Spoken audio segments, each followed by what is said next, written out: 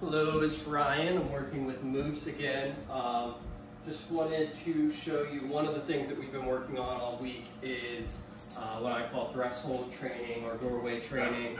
Um, it's basically when you open up a door, your dog should not just bolt out.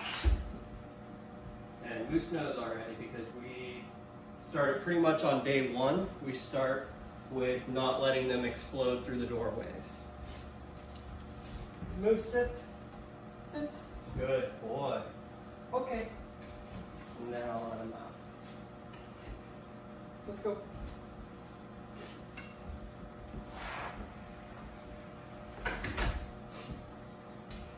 And I know that you guys want to take uh, Moose to soccer games and you want to take them places, take them to stores, take them to um, restaurants or cafes, um, and doorway training and doing this at your own doorway uh, will really help you guys keep him in control, keep him from getting too excited uh, when he's going into places. And all you do, if he does decide to run out, all you do is give a little pop. Good boy, Moose. Moose sit. Moose down. Good boy, Moose.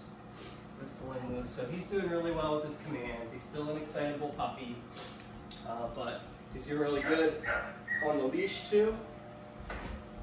Uh, even when he sees squirrels and other dogs, he's been doing pretty good. So that's uh, Moose for today. See you guys on the next one.